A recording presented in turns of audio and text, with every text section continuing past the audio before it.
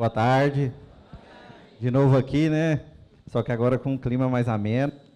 É, muita gente já estava presente no, no, no, anterior de apresentação do Colari. É só para a gente começar aqui ter uma ideia. É, quem que estava no evento anterior? Bacana, muita gente. Levando a sério o Colari, né? A realidade que vai acontecer. E aqui para conhecer mais ou menos o nosso público, quem aqui é gestor de previdência? Bacana, bacana. Controlador interno. Temos alguns. Secretário municipal do RH. Ok, bacana. Então, a maioria aqui, colegas que a gente já se conhece, né? Para quem não me conhece, meu nome é Vinícius Nascimento Santos. Eu, me apresentou. Atualmente eu estou substituindo a atual secretária de atos pessoal, é, que está de licença maternidade, e a gente é da área de fiscalização do tribunal. É, a maioria aqui, regime próprio previdência, sabe, tem, esse, tem esse contato conosco, a gente faz a fiscalização dos atos de aposentadoria e pensão, né, para fins de registro, o tribunal tem essa competência constitucional. Eu estou para falar aqui sobre um assunto é, é, de inovação e mudança, né? É, dizem que é, inovação e mudança é igual entrar no paraíso, né? Todo mundo quer, mas não agora. Só que vai ser agora. então nós vamos é, falar do colário. O colário vai entrar em, em vigor, está programado inicialmente em fevereiro e, e março. Março efetivamente vai iniciar, vou falar desses prazos, o, o o, Paulo também vai falar, vai iniciar efetivamente a parte da, da aposentadoria e pensão. Então, retomando para quem não estava aqui presente, nem, nem todo mundo estava presente no anterior, é uma mudança principal do Colari, é, é, assim, então só retomando, o Colari, igual eu falei do passado, ele é feito por layouts, né? Está todo familiarizado com isso, layouts, são as formas como são organizados os, os dados e os arquivos que serão enviados para o tribunal. Então tem lá vários layouts. É, vou mostrar aqui mais ou menos quais são. É, então, como é que vai funcionar na prática? Lá os senhores têm lá um, um sistema de gestão de software, né? De, de para gerar folha de pagamento e tal. É, esse, so, é, essa, esse software lá terá que ser feita uma atualização nele. Essa atualização vai prever agora o envio de informações do RPPS também para o tribunal. Então, é o software de vocês com o software do tribunal. Né? Então, o colar ele muda, porque ele, ele tem por base agora a legislação. Então, todas as informações é, que os senhores vão, vão mandar vai ter por base a legislação. A legislação vai ser o, o foco principal. Então, ele está previsto é, para ser totalmente eletrônico. Então, como o, o presidente disse, não haverá mais nada protocolado em papel no tribunal de, de aposentadoria e pensão tudo por, por meio eletrônico, nós vamos gerar uma grande economia, o erário, né? Porque hoje o que há de diligências né, que a gente faz, diligência, ter que vir aqui protocolar processos, é, é, é, um, é um dinheiro que a gente gasta, um dinheiro grande, né? Então, às vezes, você, vocês verão, ah, eu vou ter que fazer um pequeno investimento ali no meu parque de informática, em, em qualificação, mas esse investimento vai ser revertido totalmente com a economia que vai ser gerada para o município né, com, com, com tudo eletrônico a partir de agora. É, ele vai permitir informações fidedignas, porque hoje, até que no RPPS, não tem problema, né, porque é tudo no papel, já, já, se tem ali os atos administrativos, temos todo o processo formado em papel, já tem lá as informações funcionais do servidor, mas agora nós vamos tratar isso tudo de forma eletrônica. O nosso sistema eletrônico hoje, ele tem alguma, alguns, algumas, um, alguns defeitos. Um dele é, algumas informações, como ele é um sistema antigo, você só informa na, como se fosse uma declaração. O tribunal não consegue conferir aquilo que se foi declarado. Isso é o que a gente chama de fidedignidade. É que aquela informação corresponde à realidade. Né? Com o Colari, não. Vai ser possível é, a gente garantir fidedignidade. Então, o que, que, que, que vai garantir essa fidedignidade? O documento tudo em meio digital, é, a tecnologia do Colari permite uma verificação eletrônica dos documentos. Então, os senhores verão que haverá a necessidade de se digitalizar vários atos administrativos. de uma forma que o tribunal possa ler. A tecnologia permite a leitura para dar cara crachá se aquele documento pertence ou não àquela informação dada, né, se corresponde uma coisa a outra. Então, lá pesquisa no conteúdo do documento. É, tem a questão do certificado digital, que garante é, que aquela pessoa que está assinando digitalmente é a mesma pessoa. Então, assim, muito provavelmente, todo gestor de previdência vai precisar fazer, ter o seu certificado digital, cadastrar aqui no sistema passaporte, que, o, que que o Paulo vai é, mostrar melhor. E vai permitir cruzamento de dados, principalmente com, os, com outras bases de dados, que o nosso sistema hoje não permite. Receita Federal, com o E-Social, que o E-Social vai ser uma realidade. É, muitos municípios estão apostando que, que o governo federal vai abrir mão dele, não vai abrir mão, ele vai acontecer em 2020. Apenas deve mudar de nome, né, para agradar, para pertencer a um outro governo, vai haver uma reformulação de simplificação, mas ele vai existir. Então, vai haver cruzamento de dados com os tribunais de contas e tudo isso vai garantir a fidedignidade da informação. É, então, o COLAR está tá, tá previsto para ter a legislação como base. É, então, vai ter um layout, que a gente chama layout de legislação. Vai ter lá os dados que você vai informar da legislação, juntar a legislação em PDF, o tribunal vai fazer uma verificação, Aí depois vai se cadastrar os cargos das pessoas, a remuneração, tem um layout cargo, um layout remuneração, o layout concurso público processo seletivo, o de homologação desse concurso processo seletivo, o de cadastro da pessoa, aquela CPF, etc. Aí vai, vai ter um módulo, um, um layout de admissão, um de folha de pagamento, o da vida funcional, que é lotação, afastamento, disposições, etc desligamentos, que é exoneração, aposentadoria, é, é, demissão. Aí depois vem a aposentadoria propriamente dita e as pensões. Então ele foi programado para o servidor público que ingressar, é, quando o colar já estiver em vigor, daqui 35, 40 anos, quando ele for aposentar, toda a vida dele, é, vai aposentar, gente. Eu vi alguém aqui, mas vai aposentar, cedo ou tarde mas toda a vida dele já vai estar no colar. Então, e já vai ter sido submetido a verificações específicas de ponto de controle. Então, isso vai permitir que a pessoa quase que vai aposentar de forma automática, porque tudo foi verificado na vida funcional dele, né? A folha, é, os atos concessórios de cada vantagem. Então, vai ser bem mais fácil. Só que nós temos esse momento inicial de mudança, né? Que a gente vai ter que se adaptar para transformar tudo que era em papel agora no meio digital. Então, ainda no início, vai haver necessidade de se socorrer de documentos antigos. Nós vamos ter que. A gente já fez a palestra anterior com, com, com o pessoal do RH. Vai haver a necessidade de fazer um levantamento dessas informações antigas, cadastrar tudo no sistema para ele poder girar. Mas ele foi programado para fazer é, que a aposentadoria aconteça de forma semi-automatizada. Né? Então, como era antes do Colare, em relação aos processos dos S. Era tudo processo, um processo para cada aposentado. É, nós tínhamos um rol de documentos lá na, na instrução normativa número 1015. É, cada aposentadoria e pensão era um processo em tramitação no município e no tribunal, porque o aposentado tem lá, tramita aquele processo lá no município, é, do pedido dele, vai para o RH para verificar o tempo de serviço, ou, ou para o próprio RPPS, tá, culmina com a edição da portaria ou é, com o decreto do prefeito, a portaria pelo, o, do RPPS ou do decreto do prefeito. Então tem aquela fase lá no município e agora e depois ele era submetido ao tribunal e teria também outro processo lá no tribunal. Lá ele é verificado, é submetido no parecer da Secretaria de Arte Pessoal, que é onde eu estou, Ministério Público, acórdão. É, então, nesse, nessa análise dupla, tinha uma série de problemas de documentos e diligências é, primeiro, tudo era protocolado no tribunal, você tem que deslocar até a sede do tribunal em Goiânia.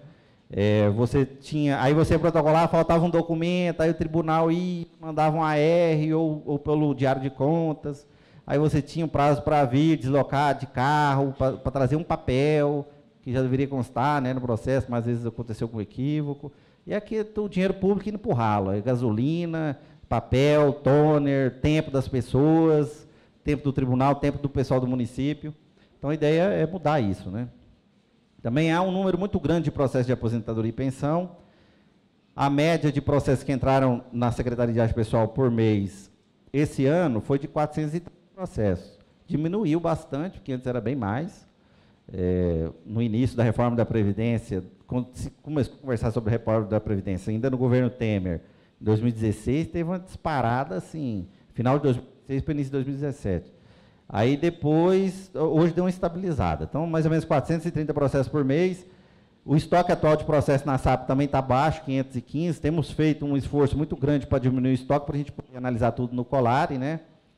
Mas, para o senhor ter uma ideia, o tribunal julgou em 2019, agora até setembro, 3.009 processos de aposentadoria. É muita gente, é muito processo, é muito papel, muito grampo, a gente, muito furo na mão de grampo. Tem coisa pior do que grampo, né? Só serve para furar a mão da gente. É uma nojeira, carimbo. É, então, a ideia é mudar todo esse, esse, esse cenário. Como que a gente quer que seja após a entrada em vigor do Colare? O Colare já está sendo pensado para ser integrado com o processo eletrônico do tribunal. Então, como, como, é que é esse processo eletrônico? A ideia é o seguinte. Então, nós temos a plataforma Colare que recebe as informações. Então, você põe lá a portaria, se ele preencheu um ou outro requisito, tá, você vai pular tudo. Aí, o, o, o Colar é um receptor de informações. Aí nós vamos ter lá um robozinho do tribunal lá que vai processar essas informações, tchu, tá, de acordo com nossos. Não vai fazer esse barulho, né? Tchu, não vai não. É, aí ele vai ter, vai processar as informações, separar o joio do trigo, aquilo que for está é, de acordo com os parâmetros do tribunal, aí ele vai já aprovar de forma automática, e aquilo que tiver errado, ele vai separar para o auditor dar uma olhada. De todos os modos, estando correto ou não estando correto, ele vai formar posteriormente um processo eletrônico, tramitar tudo de forma eletrônica. Então, ah, tem que responder a diligência. Você não vai vir mais aqui na sede do tribunal. Através do, do, do processo eletrônico, lá do município, lá você vai tá, peticionar e jogar lá a petição para ser apreciada ou juntar o documento. Aí depois forma esse processo, e é julgado eletrônico também pelos conselheiros, então tudo de forma eletrônica. A ideia é não precisar mais ir ao tribunal. Eu vou ficar com saudade de recebê-los lá, né? Mas vai ser para um bem maior, né? Então, o rol de documentos agora será constante do layout de, de aposentadoria e pensão. A ideia é a gente substituir ainda. Aí nós estamos também, é importante falar isso, nós estamos num momento de construção. Então nós estamos, eu vou mostrar para os senhores já o layout de aposentadoria, não todo, porque ele, ele é grande, mas a maior, maior parte deles. E é para os senhores avaliarem, fazer uma análise crítica, falar, dar sugestões de melhoria. Não pode sugerir caso nem que não aconteça, né? Porque vai acontecer. Mas fazer sugestão, assim ficaria melhor, era importante essa informação ou outra. Então, é, então substituir a IN 1015 para uma nova IN que vai trazer lá o, e, e, os layouts vão poder ser construídos de forma mais, é, é, mais dinâmica, né, para atender às necessidades. Então, vai possibilitar julgamento em bloco e destacar de acordo com os pontos de controle aplicado, aquela questão que eu falei, né? Então, imagina lá, julgar, sei lá, de 3 mil e tanto, você julga já, se está tudo certo, você julga mil logo de uma vez. Para que ficar tudo num processo só, imagina, olha que, que, que, que, legal, né? Tendo um sistema confiável, isso é possível. É, isso vai incentivar também a, a questão do protocolo do, dos documentos por meio digital, sem a necessidade de papel, de se deslocar ao, ao, ao TCM e incentiva a digitalização e processamento eletrônico do processo também no município. Então, é repensar. É, a gente sai fora da casinha. Será possível? Como você já tem que fazer tudo eletrônico para o tribunal, faz sentido você ter um processo em papel? Não faz sentido. Então, isso é um indutor de você melhorar lá a gestão municipal e criar o seu próprio processo eletrônico. Olha que bacana. Né? Isso é uma modernização da administração pública. Então, é, é um papel também de induzir, de ser um indutor de melhorias tecnológicas também no município. Vamos falando aqui, já propriamente dito, é, sobre os layouts, só tomar uma água aqui, só um minuto.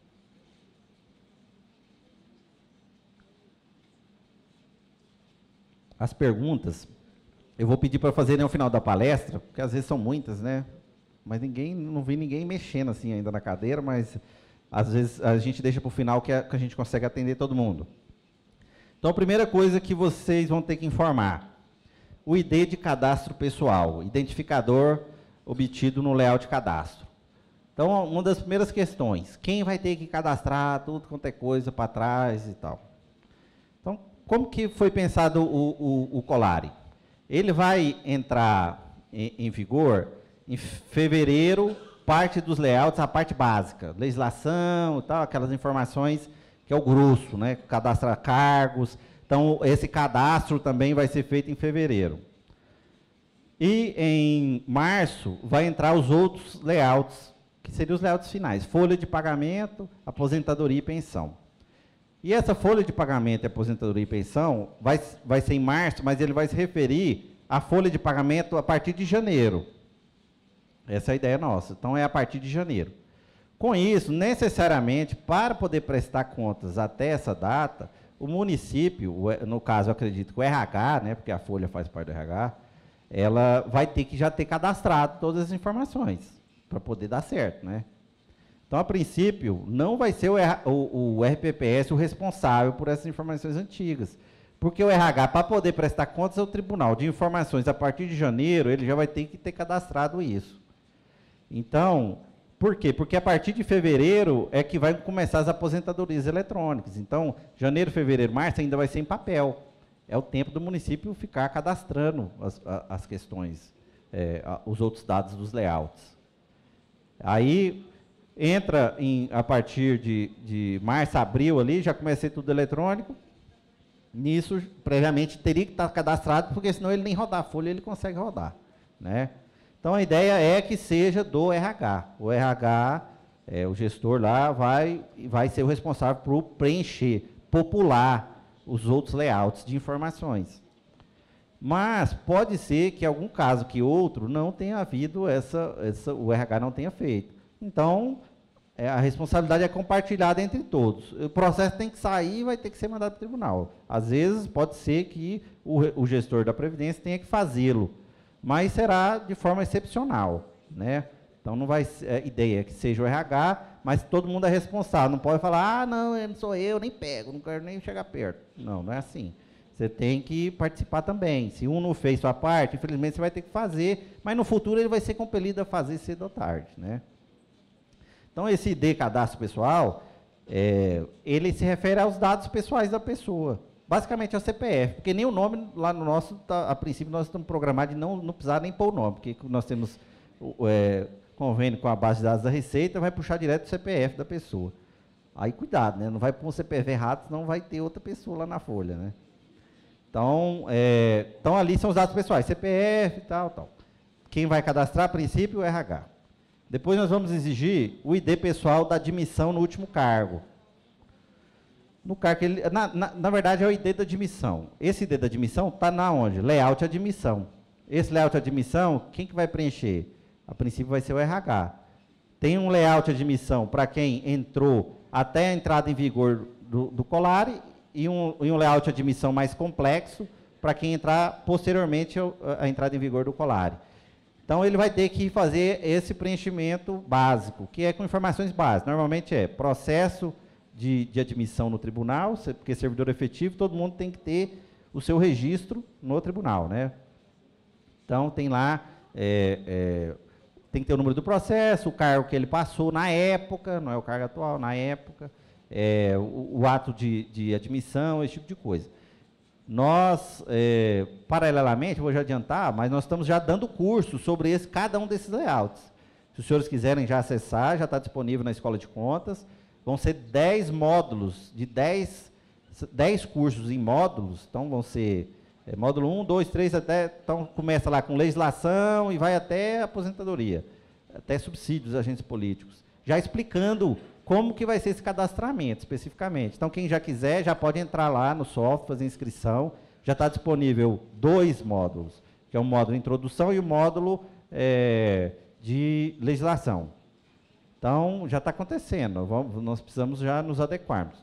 Então, ele vai cadastrar lá o, o, sobre admissão, depois vai cadastrar o tipo de aposentadoria, colocamos as 14 principais, não estão todas, porque acredito que vão restar muito poucas da, das antigas, ali, artigo 2 da emenda 20, ou antes do, da emenda 20, tem, tem pouca aposentadoria sem registro dessa época. Então a gente colocou os principais que têm sido utilizados hoje. É, depois nós vamos colocar os requisitos do ato administrativo, que é o tipo do ato administrativo, se é decreto, portaria ou ato, tem uns que, não tem nome, né? A gente sugere que coloque portaria ou decreto, mas tem gente que não põe nome no negócio, aí fica difícil. Mas existe tudo nesse mundo. Ato, o número do ato, o ID do cargo da aposentadoria, que é o identificador do cargo que se deu aposentadoria, cadastrado no layout cargo, que é um layout próprio, que muito provavelmente vai ser o, o RH que vai cadastrar, porque vai ter outras pessoas naquele cargo. Então, está vendo que tá, tudo está casando, né? Então, porque um dos grandes problemas do RPPS era, ah, eu preciso instruir meus processos, mandar para o tribunal, o, às vezes o RH não me ajudava nesse sentido. Aí eu ficava desamparado. Não, agora não. Ele, o, o, o Colari veio para trazer o protagonismo para o RH, ele que vai popular aquelas informações. Depois nós temos a data do ato administrativo, está meio pequeno, né? Peço desculpas, depois vocês quiserem acesso a, a, a, essa apresentação, vai ter lá. E também nós vamos ter o módulo de aposentadoria lá no nosso curso EAD. Ah, os cursos, esqueci de falar, são EAD, não tem que deslocar aqui para o tribunal. É sinal de, uh, vamos adotar também meios tecnológicos até para ensinar, né? Não faz sentido a gente colocar tudo eletrônico e fazer os senhores se deslocarem até aqui. Então é tudo eletrônico, vai fazer lá de casa, tem umas provinhas bacanas, quem já fez, né, é, se entusiasmou. É, é bacana mesmo. Tem lá a data do administrativo, data do efeito financeiro, data da publicação, certidão, comprovante. Aí tem muitos casos de certidão, falar, ah, o meu lá é só um carimbo. Beleza, é, era só um carimbo. Sugiro você fazer uma certidãozinha. Dá, se você colocar um sistema eletrônico, sai ela, você não precisa nem imprimir. Não precisa imprimir. Você só gera de lá um PDF assina eletronicamente, pronto, você junta lá uma certidãozinha. Forma de reajuste com paridade ou preservação do valor real. Documento do ato administrativo. Vai ser necessário anexar um documento em formato PDF-A. PDF-A é um formato específico do PDF que ele permite você pesquisar as palavras dentro do documento. Você já viu que tem uns PDFs que parecem imagem? Então não é esse. É o que você permite selecionar as palavras. Depois, quem é o responsável pelo ato, quem assinou, né, e, e vai puxar. Você não vai pôr o nome dele, você vai pôr o ID dele de cadastro. Esses IDs são assim, o, o responsável pelo cadastro vai gerar um ID, ID identificador. Esqueci de falar no início, né? Estou falando aqui de ID como se eu não soubesse. Então, o ID é o identificador. Vai ter que ser compartilhado essas informações entre o Poder Executivo e o RPPS. Vai ser, vai, vai ser necessário um compartilhamento geral de informações. Então, ele vai informar lá o ID de quem de quem assinou aquele ato. É, agora, sobre os tempos de contribuição, ele vai cadastrar lá. É, esses nomes estranhos, requisito tempo de contribuição, é porque ele está previsto para ser cadastrado assim no layout. Mas eles vão ser explicados posteriormente nas aulas. Eles são também, os nomes eram para ser autoexplicativos. Tem um que outro que fica meio, meio torto, mas, mas dá para entender. Então, tempo de contribuição, é, vai informar lá o documento do, do, em, em PDF-A, a certidão de tempo de contribuição. Tem lá o, quem é o órgão emissor da certidão, o órgão de destino, as licenças prêmio não gozada até 98, né, que era contada em dobro. Se tem ou não tem, se tem, falar os dias, a data de início, a data do período aquisitivo, né, início e fim. Depois tem o detalhamento do período da CTC, o CNPJ do empregador daquele período. Então você vai ter, umas, às vezes você vai ter só uma CTC, é, só do tempo que a pessoa às vezes só prestou naquele município, né? Ou não, você vai ter várias, você vai ter um do INSS, você vai cadastrar aí também, você vai ter uma do Goiás Prev, ou de outro RPPS de outro município. Então você vai cadastrando CTC por CTC. É, data início e fim da, das atividades lá da, da CTC, e falando se aquela atividade específica é do Magistério Público, Magistério Privado, Policial, Geral Privado, Geral Público Efetivo, Geral Público Não Efetivo. Para já ir, o sistema vai calculando. Porque os senhores vão ver que os senhores vão informar esses dados, mas o próprio sistema já vai fazendo seus cálculos lá. Ó, esse aqui é magistério, ah, esse não é. Esse aqui você falou que é, está contando, mas não é. Esse é tempo de carreira, esse não é. Então ele vai, ele vai fazer um, uma contagem já para ajudar. Depois, ainda continuando no tempo de serviço, é, não, te, agora tempo de serviço, ainda tempo de contribuição, né? Mas às vezes você tem tempo de serviço dissociado do tempo de contribuição, é possível. É, aí você vai cadastrar CTS, que é o certidão de tempo de serviço, aí você põe um documento, tal qual o outro. Data de início, fim, o, o CNPJ do empregador e, o, e, a classificação lá do tipo de atividade. Então você vai cadastrando lá, CTC, às vezes ele tem uma CTC e CTS. CTS é bem raro, né? Certidão dissociada da, da contribuição é bem rara. É, mas às vezes acontece, só para você cumprir o requisito lá, tempo de serviço, às vezes você pode aproveitar um tempo que não, não teve contribuição, o que já mas é vedado já para uma lei federal, se, se vier de outro ente, principalmente. Mas às vezes você precisa, lá tem um campo específico. Então lá tem os resumos dos tempos e exclusões. Então, além de você preencher cada CTC, você vai fazer um resumo do tempo de contribuição, tempo de serviço, tempo de carreira, tempo no cargo, é, tudo em dias, né? Aí você vai colocar o que foi excluído, se foi excluído por falta, licença, afastamento, período sem contribuição, e a data início e fim do afastamento. E o ID do movimento funcional é porque lá naquele, eu falei lá de vida funcional, lá tem um layout específico de concessão de licenças e afastamentos. Então, se for uma licença afastamento concedida depois da entrada em vigor do Colare, você vai ter que ter previamente cadastrada ela lá no, no layout próprio. Não os senhores, né, mas o RH. Aí com isso a gente consegue é, é, já fazer esse link. Então a ideia é para ser tudo linkado entre si e que tudo funcione de forma automatizada. Né? Depois vem a questão financeira, os proventos, tem lá o valor dos proventos, o detalhamento dos proventos, tem o ID da verba, da última remuneração, e o valor, o valor bruto da última remuneração. Né? É, esse ID verba, então tem lá o ID no layout verba. Então, cada rubrica vai ter que ser cadastrada previamente, muito provavelmente pelo RH, porque ele vai ter que pôr isso na folha de quem está ativo. Ele vai cadastrar cada rubrica lá, vai pôr o fundamento legal, fazendo link com layout e legislação, vai pôr como que calcula aquela verba e tal. E nós, do tribunal, vamos poder avaliar. Aí nós vamos falar, ó, essa verba aqui nós não aceitamos. Aí nós, lá internamente, claro, né? Ó, essa aqui é suspeita. Se cair na, na conta aqui, você toca a sirene aí. Aí, e assim começa a gente fazer um controle mais automatizado. Ah, não, essa aqui a gente aceita, está tranquilo, está dentro do, da legalidade, muitos anos faz assim, pá, aí já vai passando, vai passando de forma automática. Aí tem os valores, vai ter um link, depois vocês vão ver, com... É, aí vai, tem, a, tem a folha de pagamento, já vai ter vindo pelo menos três, né? Como ele vai entrar em vigor em março, abril, já vai ter vindo pelo menos três. Aí com isso fica já, a gente já tem uma história, não tem mais que anexar contra-cheque, né?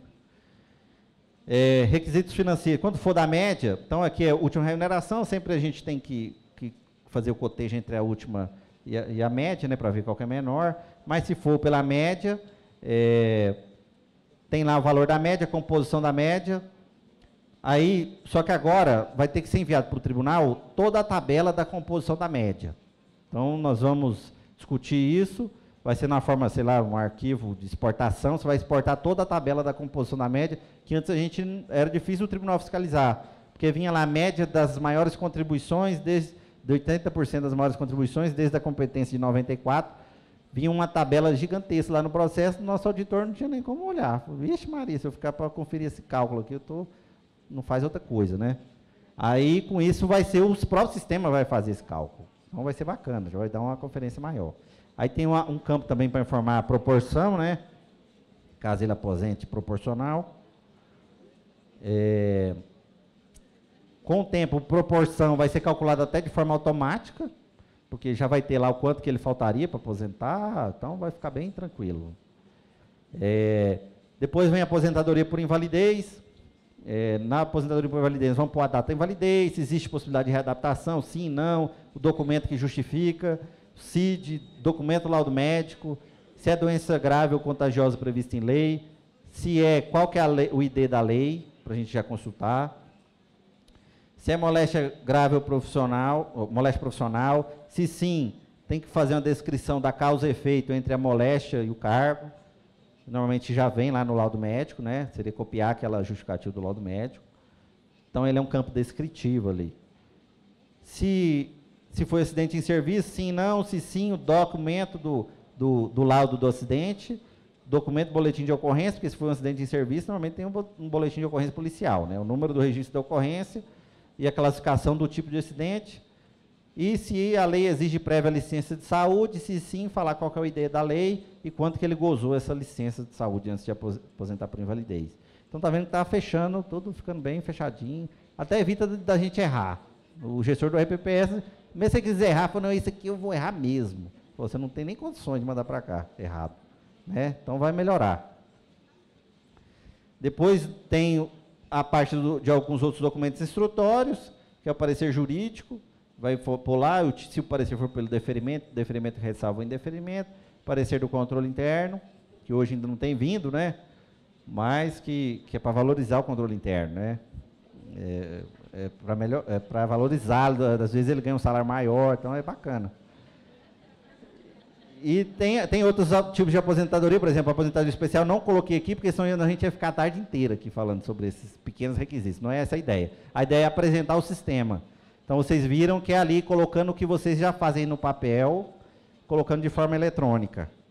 Muitos documentos não precisarão mais ser enviados, porque serão, é, por exemplo, o contra-cheque, não vai precisar mais ser enviado. Então é para melhorar. Nós vamos trazer o que era no papel para o meio eletrônico. Então, outras informações importantes sobre o colar pessoal. Então, em março de 2020, todas as aposentadorias enviadas de forma eletrônica. Prazo para envio, 10 dias úteis após a publicação do ato concessório. 10 dias úteis vai ser a padronização de, to, da, de todos os, os, os, layouts. Porque agora o layout, antes do, no analisador web, o SICOM pessoal, era tudo mensal.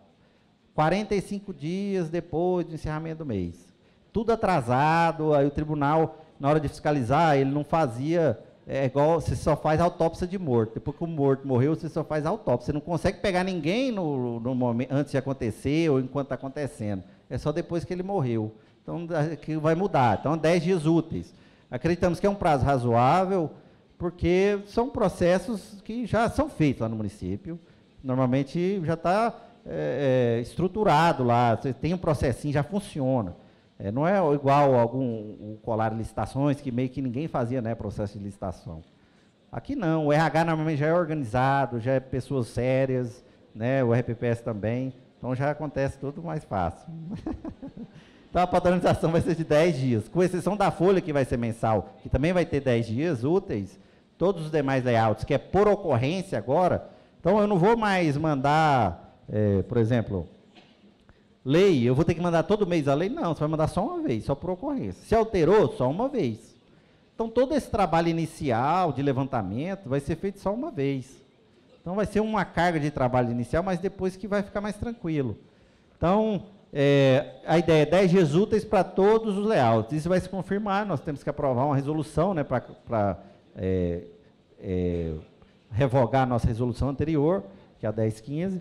Então, a ideia é 10 dias úteis com exceção do, se não me engano, concurso. Concurso, processo seletivo simplificado, tem esse prazo diferente. O resto, 10 dias úteis. Dias úteis, né? Porque ninguém merece trabalhar no feriado, que coisa eletrônica, todo mundo põe dias corridos, aí você tem que fazer lá da sua casa, né? Ninguém merece. Então, melhor dias úteis. Cobrar da empresa de software a atualização dos atuais programas de gestão de pessoal. Então, pessoal, a, acredito que é dever. Quando a, o município contrata a empresa de software, ele contrata também a prestação de contas para o tribunal. Então, em regra, a empresa de software deve sim se atualizar para permitir é, fornecer essas informações ao tribunal. Então, tem que cobrar da empresa de software. Ah, minha empresa não quer se atualizar. Gente, tem muita empresa de software no mercado e tem certeza que uma vai se atualizar para conseguir, conseguir é, garear clientes. Aí você muda de empresa, tá? você paga, né? Você está pagando, você, o cliente é o que manda, né? Então, tem que cobrar da empresa de software atualização.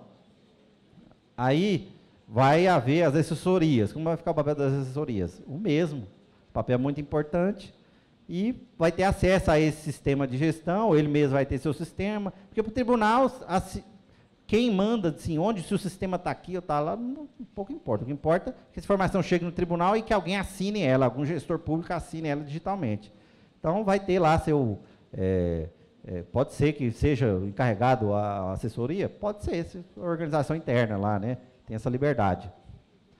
Então, recomenda-se um recadastramento de nativos, porque o papel do gestor do RPPS, ele é parecido com o do RH em alguns aspectos. Ele também tem sua folha. Ele também tem que gerar sua folha.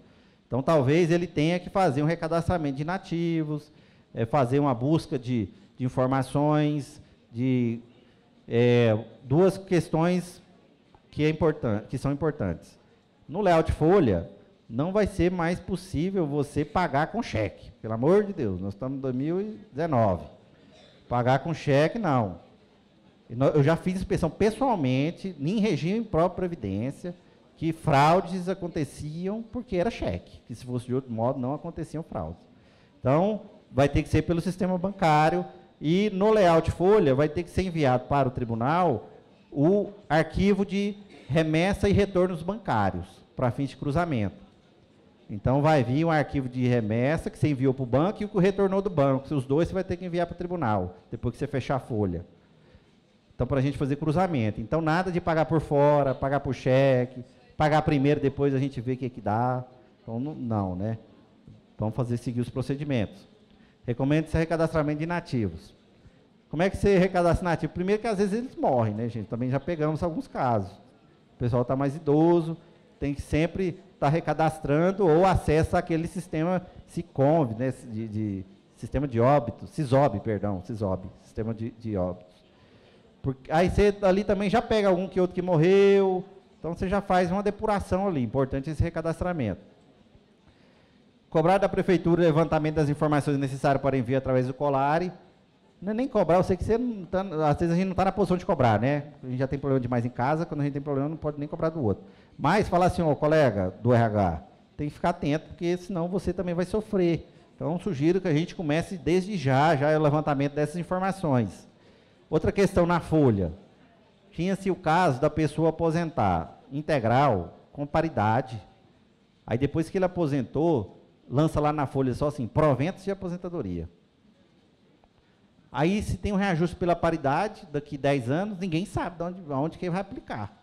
Porque só pôs lá proventos de aposentadoria, perdeu-se o controle da, da, das vantagens que deram é, origem àquela aposentadoria. Então, em regra, proventos integrais, principalmente com paridade, ou até aquele proporcional com paridade por invalidez da emenda 70, deve ser cadastrado cada rubrica.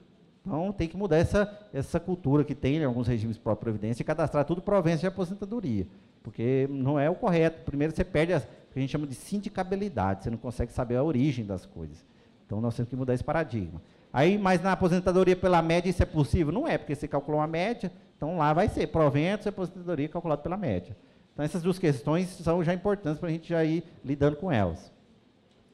É, e realizar as capacitações EADs oferecidas pelo TCM. Então a nossa ideia é de caminhar juntos, tanto na construção como no aprendizado. É igual o presidente falou, alguma coisa pode que não dê certo, pode que vocês tenham uma ideia melhor de como fazer uma outra informação. Isso a gente vai caminhando junto. Nós vamos oferecer esses cursos, façam inscrição, recomendo. Tá bacana. Se não tiver bacana, fala lá também. Fala, esse curso está muito ruim. Tu tem que fazer outro. A gente faz também. Porque não é só eu vou fazer, vai ser vários servidores da secretaria, estamos todos engajados para oferecer o, o melhor da, de, desse curso para vocês. Então é isso. Deixo aberto é, a perguntas do senhor. Obrigado. Obrigado a todos.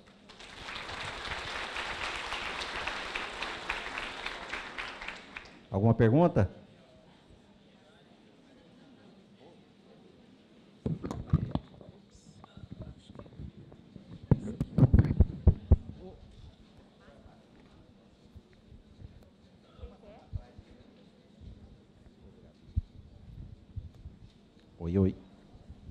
Vinícius, boa tarde. Boa Eu tarde. falo do RPPS de Acreúna. Eu só fiquei curioso questão da, da, do envio dessa informação é, Prefeitura e RPPS. Pelo que eu entendo do passaporte, eu tenho acesso à informação que eu, só que eu envio, certo? Como é que você vai fazer a integração, como se fosse um ato contínuo, de você cadastrar o servidor lá, a prefeitura, o seu RH, e quando for feita a aposentadoria? Ou é, esse cadastro vai ser feito só em, quando for é, conceder aposentadoria ou pensão? Como é que se daria isso? Então, a ideia não. A, então, a prefeitura vai cadastrar previamente que a pessoa vai estar na folha pelo menos três meses. Né? Então, ele vai ter que cadastrar algumas informações básicas dessa pessoa. Como que você vai ter acesso?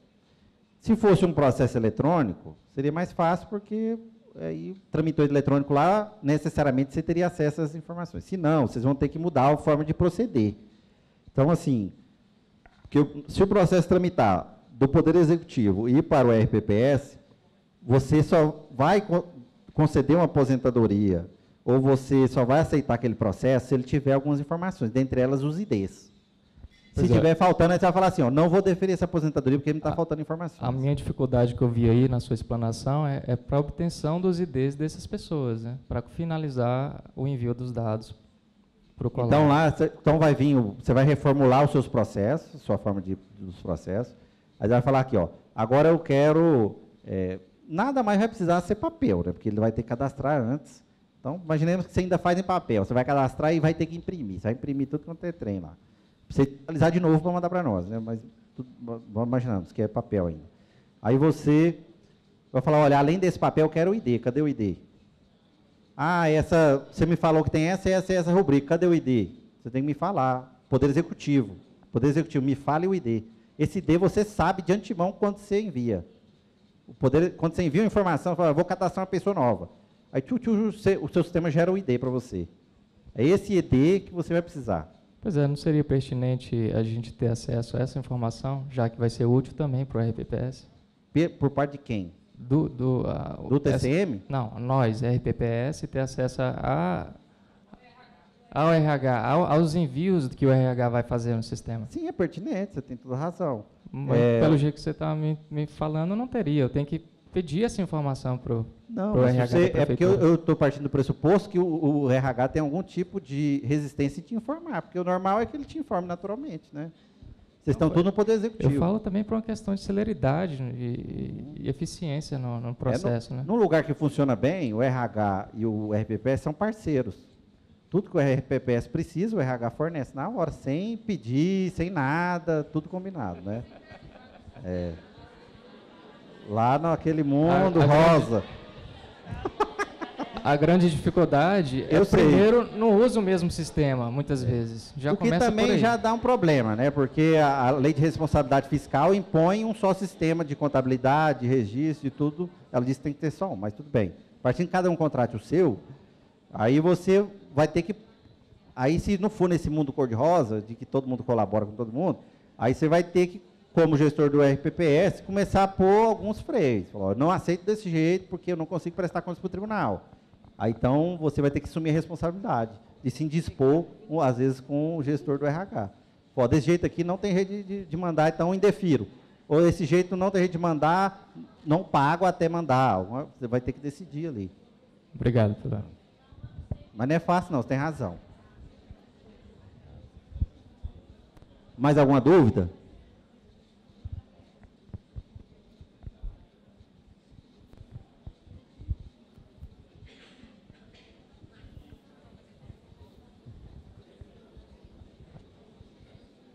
Vinícius, até complementando a dúvida do colega, saindo aí do mundo cor-de-rosa, o sistema Colari, pessoal, eh, a partir do momento que a prefeitura vai fazer o registro da legislação, eh, dos cargos e dos servidores, né, dos seus dossiês, quando chega no RPPS, nesses casos em que ele tem outro sistema, outro software, ah, o software do RPPS vai ter condições de consultar na base de dados do Tribunal de Contas, porque, ah, fora do mundo cor-de-rosa, realmente a comunicação entre algumas prefeituras e a Previdência não, não funciona, não existe.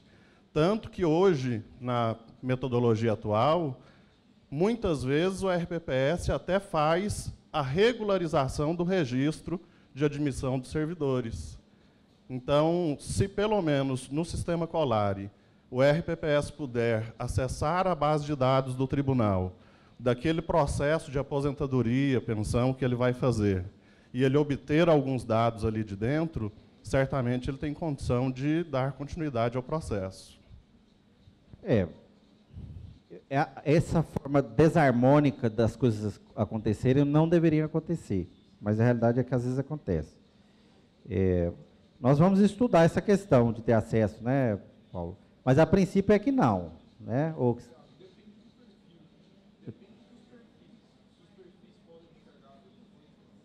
é, mas a princípio é uma é, tudo que você me narrou e o colega me narrou é uma disfunção administrativa interna. Vamos, convenhamos, né? Porque é tudo poder executivo. Nenhum é um poder independente. Então é uma disfunção organiza- organizacional interno. Normalmente, o, os problemas nossos internos a gente resolve em casa, né? Mas nós vamos estudar essa questão, se é possível oferecer, porque tem questões de segurança do tribunal, nós temos várias questões envolvidas.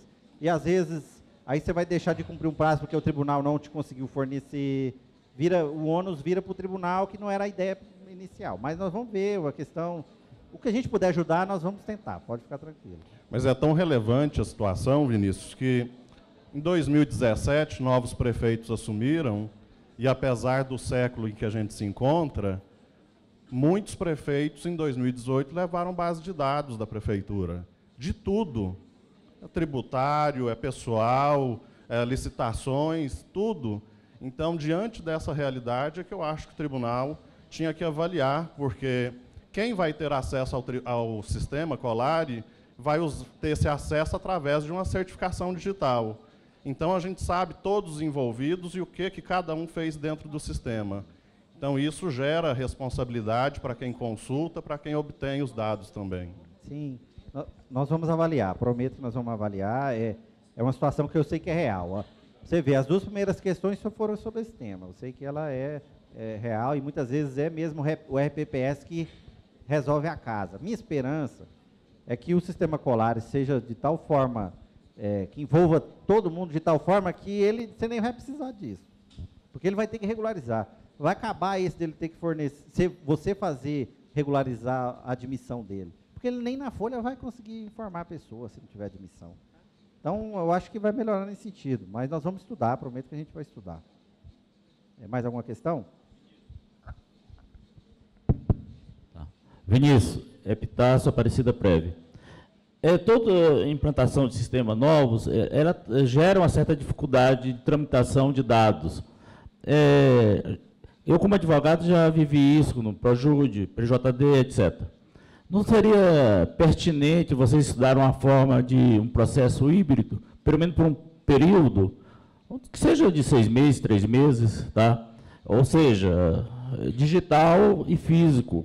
Porque, de repente, se tiver problema na base de dados, de envio ou eh, receptação, por exemplo, é, esse problema não ia acontecer, não ia ter perda disso.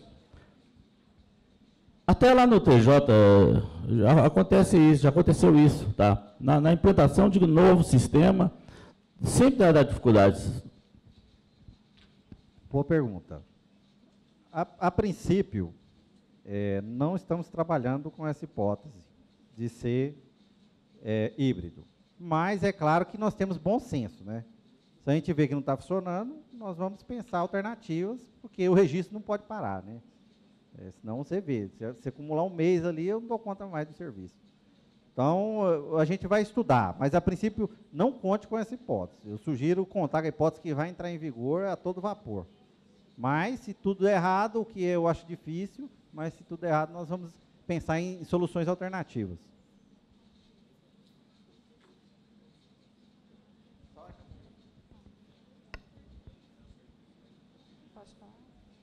Boa tarde, Vinícius. Nós somos Cachoeira Dourada. Sem querer, assim, estender a pergunta do Dr. Mauro Branquinho e do colega de Acreúna, mas já estendendo, não resolveria o nosso problema se fosse disponibilizado para nós, enquanto RPPS, um usuário leitor, que nós tivéssemos acesso à informação, mas não tivéssemos como alterar o sistema? O serviço que o RH fez? É, é essas questões técnicas pessoal da Cinco está avaliando bem com carinho. Nós queremos atender, nós queremos que dê certo. Nós não queremos forçar a barra, não. Pode ter certeza que nós estamos até aqui para a gente coletar o, como que está acontecendo, o que vocês estão achando. E nós vamos levar conosco e vamos avaliar com muito carinho. Epitáfio, sua, sua questão, do, nós vamos levar, tá? Vamos avaliar. Vamos já ter um plano de contingência, Epitáfio, mas nós pretendemos nacional, né? Mas vai que pega fogo aí no Brasil, né? de novo, pega lá também. Vamos dar um jeito. Lezer. É porque ele sai no vídeo, aí sai sua voz linda no vídeo, participando.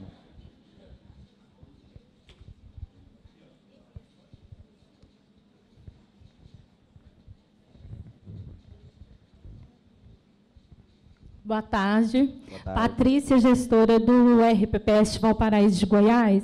Assim, até para tirar a dúvida, a questão da colocação do pessoal. O que eu entendi é, quando a prefeitura, o RH da prefeitura, mandar as informações do servidor, quando a gente for fazer a aposentadoria deles, nós vamos complementar com aquilo que a gente tem que mandar, o ato, a portaria, é, a documentação que vocês vão vai estar na instrução normativa, que hoje a gente já manda, é físico agora vai ser virtual, eletrônico.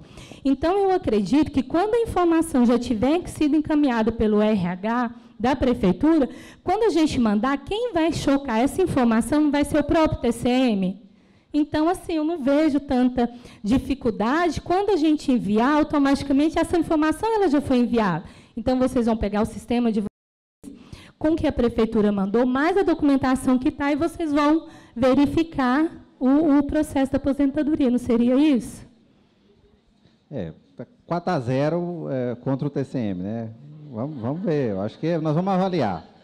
É, Eu não teria não vamos tanto- deixar chegar no 7 a 1 não, gente. Nós vamos avaliar, pode ficar calmo, nós vamos é avaliar. isso que eu estou falando, porque às vezes a gente fica muito ansioso, porque assim, às vezes, lá em Valparaíso, nós temos três RHs, nós temos o da Prefeitura da Administração, o da Educação e o da Saúde. Então, assim, cada um alimenta a- as informações. Às vezes, uma ou outra secretaria a gente tem dificuldade, mas outras não. Então, assim, Concordo, é, a gente tem que deixar, já que eles informaram, eles são obrigados a informar. Quando Fazer chegar para a gente certo, que né? abrir diligência, se o erro for deles, eles que vão ter que reformular os Nós dados. vamos avaliar, te prometo. Aí tem um colega ali, ó, atrás. Luiz Carlos, do RH da Prefeitura de Minasul. Olá. Graças a Deus lá nós não temos esse problema de falta de comunicação, né? E por sorte também a gente utiliza o mesmo sistema. Mas a gente entende que a base de dados realmente elas são distintas. Então a gente vai estar estudando essa questão de de estar unificando essa base de dados. Mas eu acho interessante também eh, a própria empresa, no caso a prefeitura ou o RPPS ou quem for, solicitar da empresa de, so- de- de- de software um dispositivo, já que o layout é único, então um dispositivo que dê para você exportar e ao mesmo tempo importar esse arquivo para que quem utiliza, por exemplo, sistemas diferentes, né?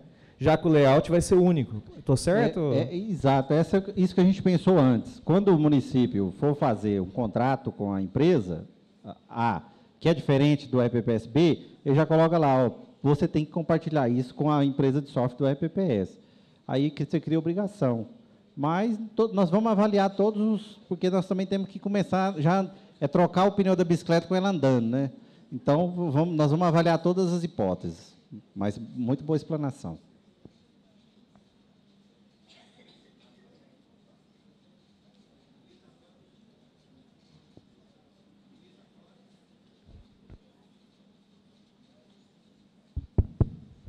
Luiz Antônio, da Universidade de Rio Verde.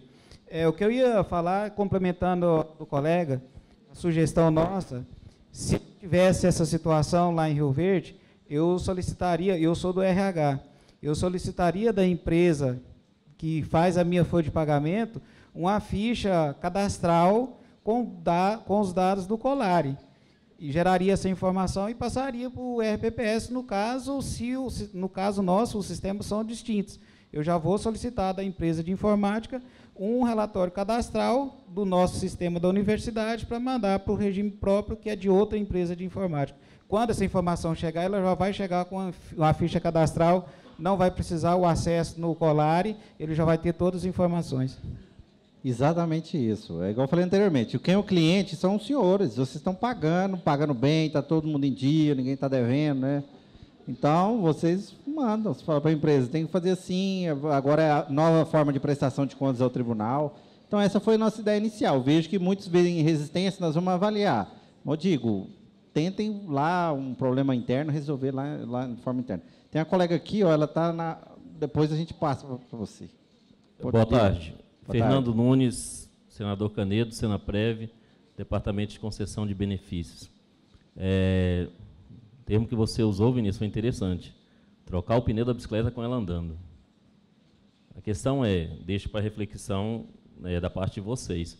O que o colega que me antecedeu falou, Aparecida Prev, É interessante essa questão do, do sistema híbrido mesmo.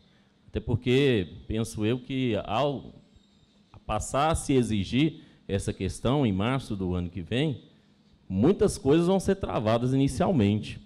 E eu anotei algo aqui que é a pergunta relacionada a isso, ao prazo da informação do novo benefício para o tribunal, que é passar a ser de 10 dias.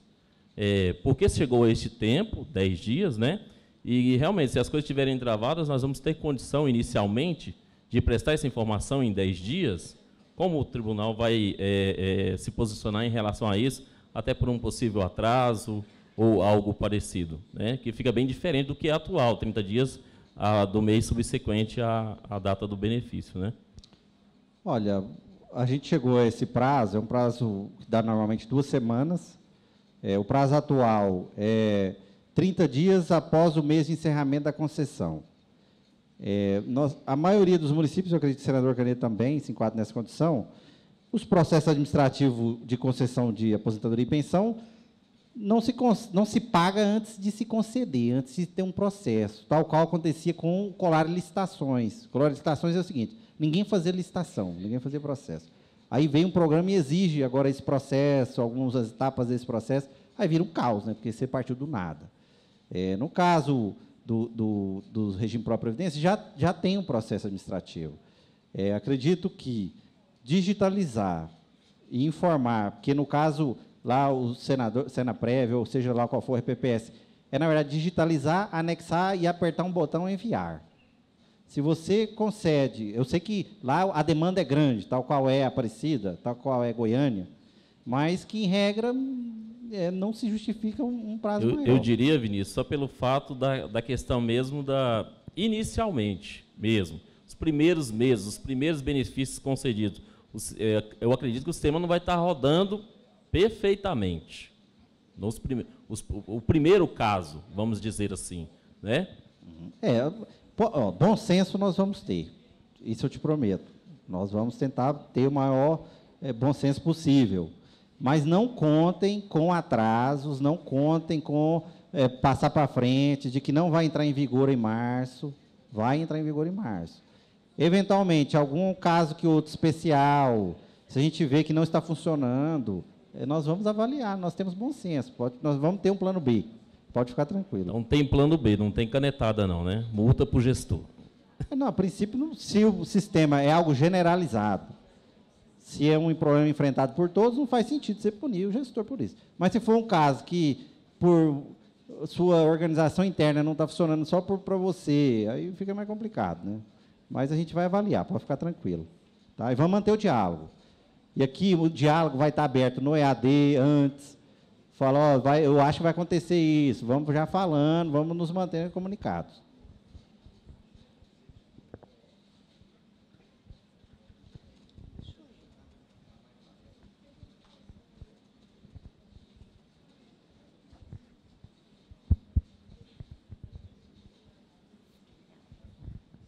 É, Maria Aparecida, eu sou gestora da Secretaria de Educação, é, de RH da Secretaria de Educação de Goiânia.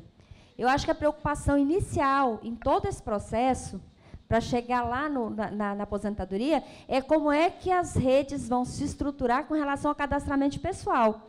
Porque, pelo que eu estou entendendo, vai acontecer exatamente o que você comentou com relação à questão das licitações. Não se consegue incluir cadastro de, de contrato hoje se não tiver todas as etapas anteriores preenchidas. O que foi o caos no início do Colare para a maioria dos municípios. Certo? A dificuldade que se tinha em documentos que estavam faltando no processo. Certo? Aqui, a primeira coisa que a gente precisa fazer é estruturar o RH com todas as informações que vão precisar constar, que já vão estar atreladas à folha de pagamento, para que o RPPS não tenha problemas. Porque hoje o RPPS tem problema porque em todas as etapas documentos são perdidos, documentos são extraviados ao longo da vida do servidor, sistemas mudam, é, se compra um software novo e se coloca sem se preocupar com a migração dos anteriores, perde é, informação. Aí na hora que o RPPS vai formalizar, finalizar, o RPPS não consegue localizar e nem o gestor. O gestor atual não consegue acesso a informações importantes. Processos ao longo dos anos são perdidos. E aí fica todo mundo desesperado, gasta-se um ano, dois, para finalizar um processo de aposentadoria por causa de um documento que, ficou perdido. Então, o mais grave aqui nesse processo é a estruturação completa do sistema de RH. Porque se o sistema de RH não tiver uma base de dados precisas e, e, bem organizada, a, o RPPS vai continuar sofrendo e todo mundo vai continuar levando multa. Nós levamos uma multa por causa de um homônimo, por acumulação indevida de uma servidora que não era a mesma servidora. Eram duas, tinha uma na saúde e outra na educação, com o mesmo nome. Em no momento nenhum, em todas as respostas que foram dadas em todos os órgãos, ninguém lembrou de uma coisa muito importante chamada CPF. Sabe? Assim, nem aqui no tribunal, desculpa, nem no tribunal não se atrelou a, a informação ao CPF da servidora, e nem em nenhum lugar, nem a saúde informou, adequadamente, nem a educação informou. A, a, informação da educação é: essa servidora não é nossa, porque de, fa de fato a, a servidora que estava buscando no relatório não era. Então, uma coisa tão simples, tão simples como CPF, não pode gerar uma situação da área. Você imagina na hora de aposentar o fulano. A quantidade de situações divergentes que nós vamos encontrar, certo? Eu hoje, que sou de RH, que sou da, gestora da Secretaria de Educação, que tem 18 mil servidores sob minha responsabilidade, e servidores que têm dois contratos, que tem é, é realmente uma situação complicada. Então, eu penso que o principal que nós precisamos nos é, esforçar agora, e eu, eu falo para todos os municípios, é trabalhem em suas bases de dados de pessoal, Organizem suas documentações, porque na hora do RPPS aqui, a coisa vai pegar. É, eu acho que a senhora falou tudo, né?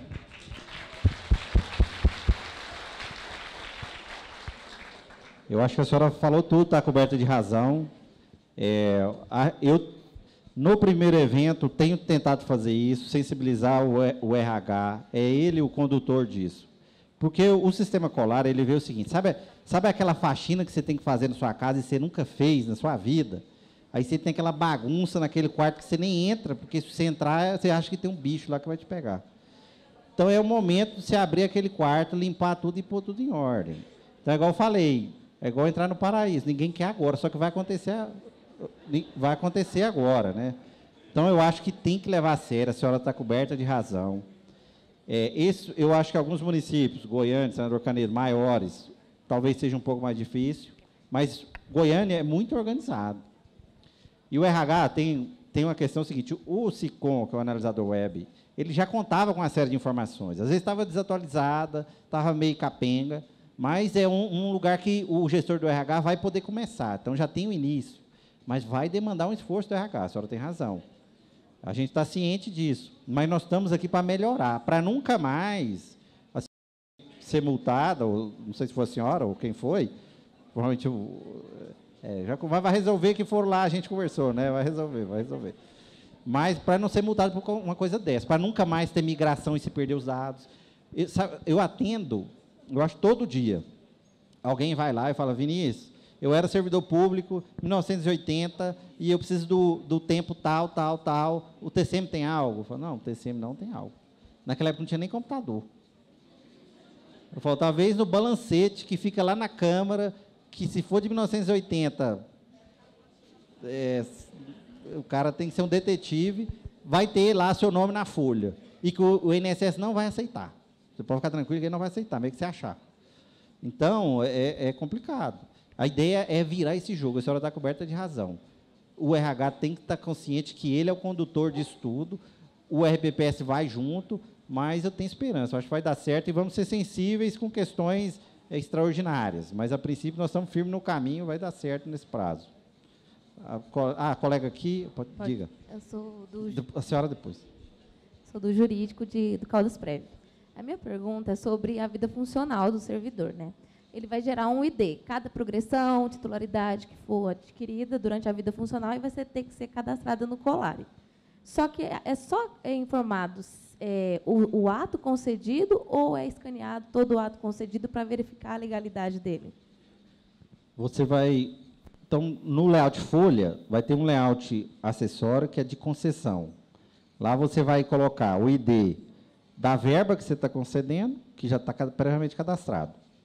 É, o e o ID da pessoa que está recebendo, que está previamente cadastrado. E o ID, é, que era de que você, você perguntou? Titularidade. Ah, e o, e o, PDF, vai, vai digitalizar. O, é. Só que a ideia é que, dali para frente, mas é possível que o RH precise cadastrar quem ainda está na folha. Mas nós vamos ter sensibilidade de exigir o PDF só dali para frente. Vai ser facultativo o PDF para trás. Mas se você quer que fique, dê tudo certo no tribunal, é bom que já coloque desde o início, quem tiver condições. Mas a gente está pensando em métodos de não exigir que você também vasculhe demais. Atos é muito difícil de achar. Atos é um problema, achar o ato concessório. É o, é mais difícil.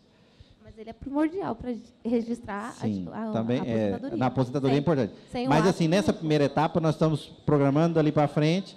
Mas quem sabe no futuro, quando todo mundo vê que funcionou, está tudo bonitinho, a gente passa a exigir dos para trás, faz pa, passo a passo. Porque, por exemplo, Goiânia cadastrar 18 mil atos, só dela lá é complicado. Mas a gente vai pensar soluções mais. Mas a senhora tem razão, vai ser importante. É, porque assim, não tem como a gente conceder um ato de aposentadoria somente confiando no ID e no cadastro. Porque muitas das vezes a gente recebe benefício, é, para conceder um benefício previdenciário, a gente recebe atos concedidos na vida funcional, mas que foram de maneira ilegal e a gente não pode deixar isso na aposentadoria. Então, gestor de RPPS. Porque o RPPS, ele, o ideal é que o gestor do RPPS concedesse os benefícios previdenciários, né, e não o prefeito. Porque o prefeito concede de qualquer jeito, aí fica a bomba com, com o gestor do RPPS. O ideal é que o gestor do RPPS concedesse os benefícios. Nesse caso, o gestor do RPPS fala, ó, não concedo se você não cadastrar lá, no, lá com a, a vantagem. Mas também ele cadastra o ato concessório, mas às vezes o ato concessório não existe. Aí ele vai cadastrar o documento que prova que ele implementou os requisitos. Por exemplo, titulação. Ah, perdi o ato concessório da titulação. Aí você vai juntar o título, lá no, no layout acessório da folha, que é o de concessão de vantagem.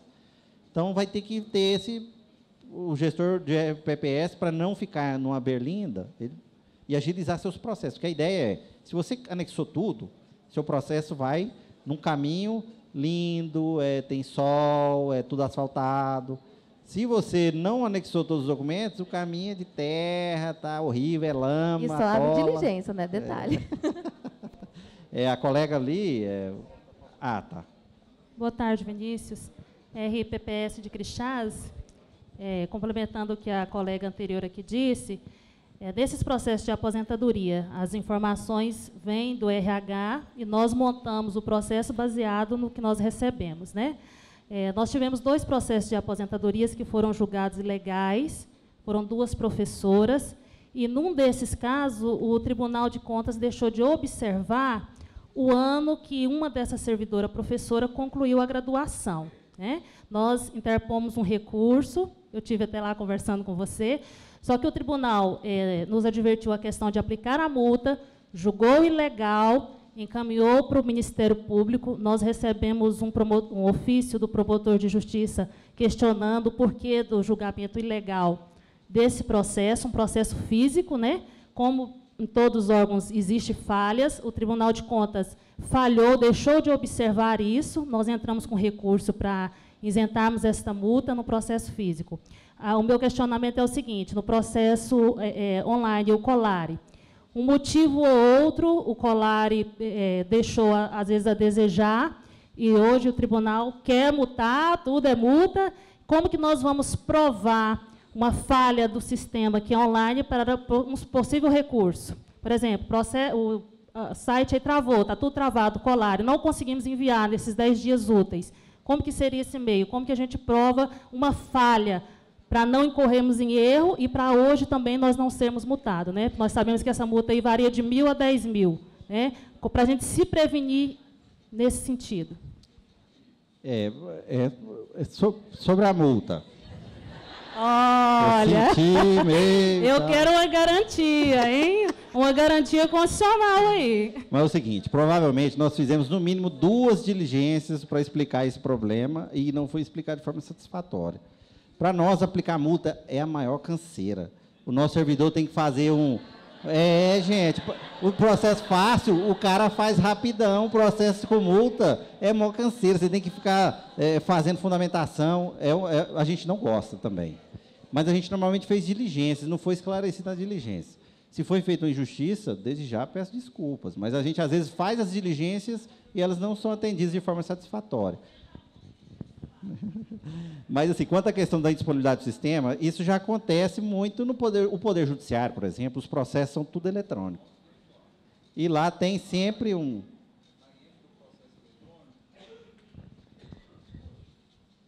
Gente, boa tarde. É, na IN do processo eletrônico, é, se não me engano é a 3 de 2019, ela tem ah, o termo de indisponibilidade técnica, que pode ser elaborado pelo tribunal e emitido pelo tribunal caso tenha indisponibilidade não resolvida por mais de, três, é, de duas horas ou três horas, tem que confirmar lá, durante o período útil do expediente.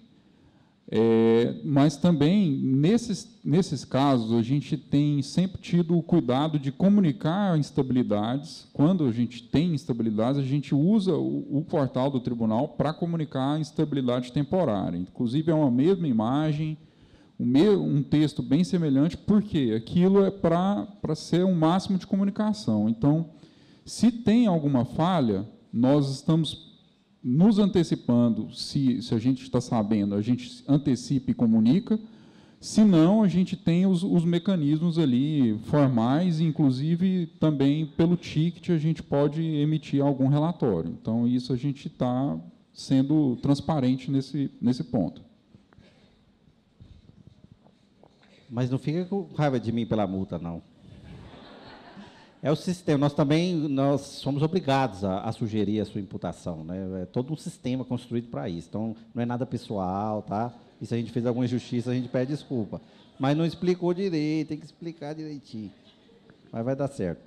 Mais alguma dúvida? Eu, eu, eu. É, eu sou a Paula, lá do Mineiros Prévio de Mineiros. Eu queria saber, na hora de eu enviar a aposentadoria, eu tenho 10 dias, né? Úteis. Só que assim, eu começo hoje. Eu tenho a possibilidade de eu ir salvando esses dados? Tem. Tipo, eu vou, com, vou, vou enviando e vou salvando. O Paulo vai explicar como é que é sistemático, mas assim, é no seu sistema. Então, é seu sistema que manda. Se seu sistema, você vai preenchendo, a, a ideia é que você aperte um botão, enviar para o tribunal. Tchuf, aí, mas se você preenche e salva antes ou não, seu sistema vai mandar. Tá? Então, para nós é só um botãozinho. Vou mandar. Tá. É, tem uma, o colega aqui, a colega ali. Boa tarde, meu nome é Sheila, eu sou do RPPS de Goiânia.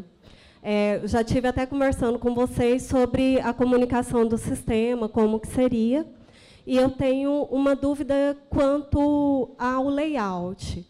É, hoje nós prestamos conta para vocês, para a Secretaria de Previdência, então são layouts praticamente diferentes ou iguais. Vocês olharam isso? Nós tentamos fazer esse casamento. Esse casamento. Ele, ele... Porque eu vi que vocês colocaram o e-social, que é um outro que a gente vai ter que prestar contas também. Esse sistema ele é construído por três equipes. A nossa, que é a parte de direito e tal, que é a uhum. parte da fiscalização. Nós temos a superintendência de gestão técnica que eles são essa de comunicar a forma dos layouts, fazer o casamento com outros ali. E nós temos a parte de informática, que é mesmo informática. Né? É, então, nós tentamos, mas, desde já, esse é o momento de querer discutir. Então, sugiro fazer certo. esse cotejo, ver algo que está incongruente, contraditório. Certo, porque assim hoje o CIPREV a gente tem que mandar informações para eles já cadastrando mais ou menos nesse estilo do que vocês estão colocando. A gente já tem que prestar essas informações. Temos que, que essa questão que a, a, a colega ali de, da Secretaria de Educação passou é extremamente importante. A gente não consegue é, encaminhar todos os dados para vocês se a gente não tiver o apoio do RH. E muitas das vezes, às vezes nossos processos vão todos bonitinho para vocês, porque a gente já pôs diligência antes, a gente pôs a secretaria para ir atrás desses documentos. Porque é muito complicado mesmo as diligências e tudo mais. E, pelo que eu entendi também do sistema, a maioria vai ser feito pelo RH, né? e não pelo Mas- RPPS E nada si. obsta que o RPPS faça. Né? Mas eu acho que o. RH já vai fazê-lo, porque senão não vai prestar contas para o tribunal. Certo, mas isso vai ser a partir da- das, das próximas, como é que fala? Márcio. Da- ingressões. Não, dos ingressos das pessoas na, na- não, não é no- novas concessões, não. Os servidores vão entrar, no, passou no- na admissão, isso. O Isso completo, na sim, mas o básico, para ele pôr na folha, também vai precisar. Então, vai ter um completão que é para quem entrou agora. Mas vai ter um básico, que o básico, na verdade, é meio completo. Mas vai ter um básico que já vai, que ele já tem que previamente fazer para essa pessoa entrar na folha. É, mas aí você vai me dizer, aí eu vou te dizer. Faz sentido eu mutar o gestor PS por um problema do RH? Não. Então você acha que eu- nós o tribunal vai pensar nisso? Pode, assim, entendeu? Tem um bom senso. A moça acha que eu não tenho bom senso, mas nós temos bom senso.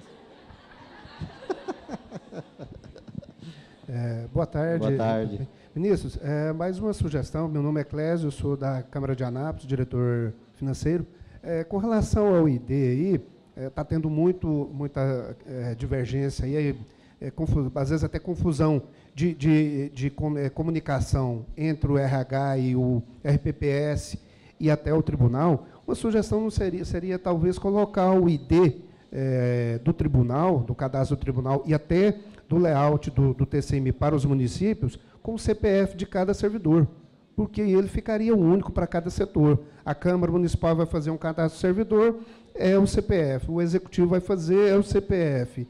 O, R, o, P- o RPPS vai fazer o, é o, o CPF. Em vez de começar do 1 e a N, cada um Não, tem um, um- um código de ID, ele ficaria geral para todo mundo.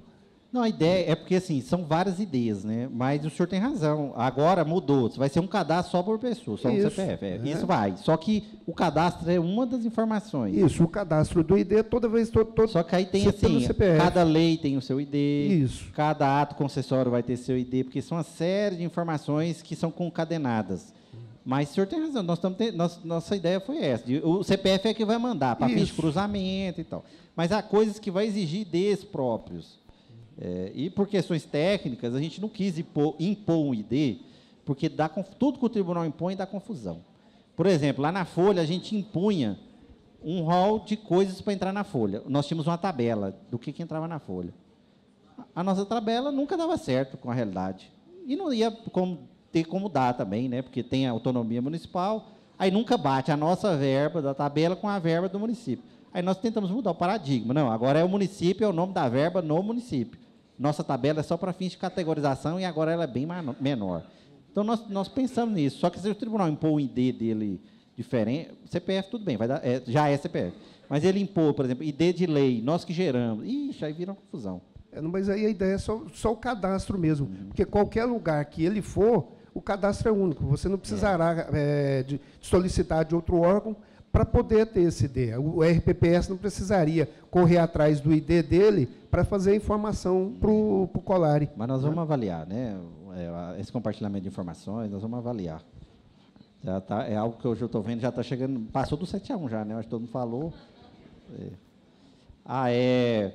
Vamos finalizar aqui, gente. Depois a gente vai ter os cursos, vamos tirar as dúvidas lá nos fóruns de dúvidas de cada curso. Eu vou, vou acabar a palestra, senão a gente não vai embora, né? Né? Todo mundo quer ir, eu também. Não, não, eu quero ficar, mas vamos deixar o, o Paulo. Obrigadão por tudo, viu? Foi ótimo essa tarde. Muito importante ouvir a opinião de vocês. É, eu, eu acho que vai dar certo, eu estou esperançoso. É para melhorar, não é para multar, não é nosso desejo. Vai dar certo e eu acredito que todo mundo, nós tem- temos capacidade de melhorar muito. Vai ser um salto tecnológico de avanço muito grande para toda a administração municipal. Tá? Obrigadão.